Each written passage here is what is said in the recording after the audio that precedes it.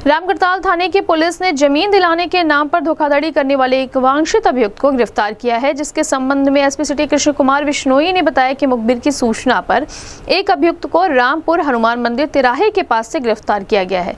जिसकी पहचान विजय यादव, पुत्र चंद्रिका यादव हाल पता बुद्ध विहार पारसी तारामंडल, थाना रामगढ़ताल, जनपद गोरखपुर अस्थाई पता ग्राम रायपुर, थाना उर्वा बाज़ार, जनपद गोरखपुर के रूप में हुई है। एसपी सिटी ने बताया कि अभियुक्त बीस हज़ार रुपए का इनामी है, जो लोगों से पैसे लेकर एक ज़मीन को कई बार बेच देता था और पैसा लेकर वापस भी नहीं करता था, जो कि काफ़ी दिनों से वांछित चल रहा था, जिसको गिरफ़्तार कर जेल भेज दिया गया है। गिरफ़्तार करने वाली पुलिस टीम में रामगढ़ताल थाना कल्याण सिंह सागर उप निरीक्षक Sandeep Kumar Chaudhary head constable Dhirendra Yadav constable Hari Kishan शामिल रहे। इस संबंध में गोरखपुर न्यूज़ से बात करते हुए एसपी सिटी कृष्ण कुमार विश्नोई ने कहा। जनपद गोरखपुर की रामगढ़ताल पुलिस को एक अच्छी सफलता प्राप्त हुई है, जिसमें उन्होंने बीस हज़ार के इनामिया अपराधी, जो कि भू माफिया भी है, उसका नाम विजय यादव है।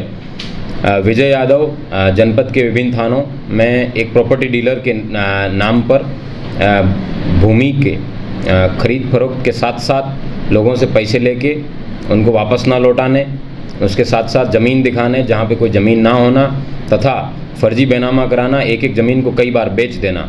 इस तरह के कई अपराध पिछले कई समय से कारित करता आ रहा है। इस व्यक्ति के खिलाफ बयासी सीआरपीसी की कार्रवाई भी की गई। एक सौ चौहत्तर का मुकदमा भी दर्ज है। जो कि पिछले काफ़ी समय से वांछित था एवं मफरूर था।